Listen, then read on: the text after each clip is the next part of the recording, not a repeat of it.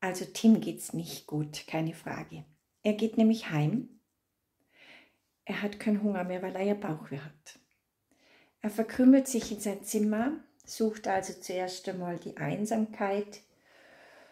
Vielleicht hat er auch Angst, das zu sagen, aber auf jeden Fall zieht er sich zurück und, ähm, und seine Gedanken schaukeln mit ihm ähm, ein bisschen Schreckliches, nämlich er denkt sich, es mag mir so keiner, weil ich bin ja ein schlechter Schüler.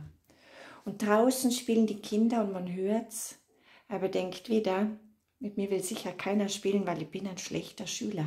Also diese Bewertung macht was mit ihm.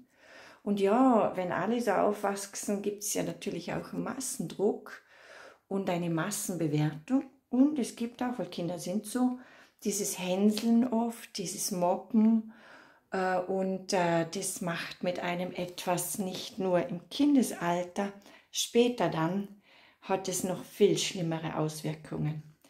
Und äh, ist wirklich schon das erste Verbrechen am Kind. Wie gesagt, ich bin gar kein Freund von Noten. Ich habe selber erlebt und die Erwachsenen, die jetzt nicht gerade im Einserschnitt waren äh, und immer diese super Schüler waren, und zwar von sich aus, einfach so, weil es leicht ging und nicht, weil es Leistungsdruck war oder strebenswert oder bin denn was Besseres. Die wirklich ehrlich mit sich, Klelle, mal nachdenken, die wissen das. Die haben entweder wahrgenommen, gesehen oder selbst erlebt, dass es ihnen damit nicht gut geht. Und ähm, dass da viel Schreckliches passiert.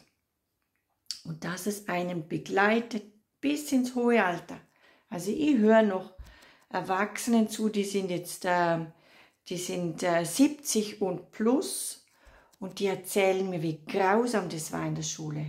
Also es war noch die Zeit, wo man so Finger gekriegt hat oder auf die äh, Innenhände. Also das gibt es natürlich noch nicht mehr, aber dann war das verboten, so ab 70, 2000 ähm, 1970 hat man das verboten, äh, dann war das nachher dann aber nicht weniger toll.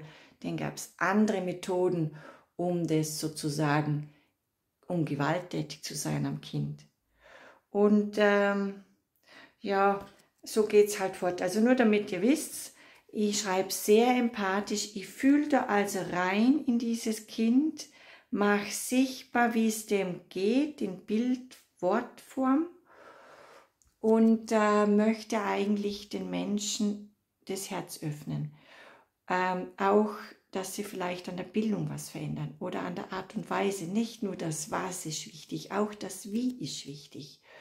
Und dass sie empathisch mitfühlen können. Das ist ganz wichtig, dass man jemanden emotional abholt in einem Buch.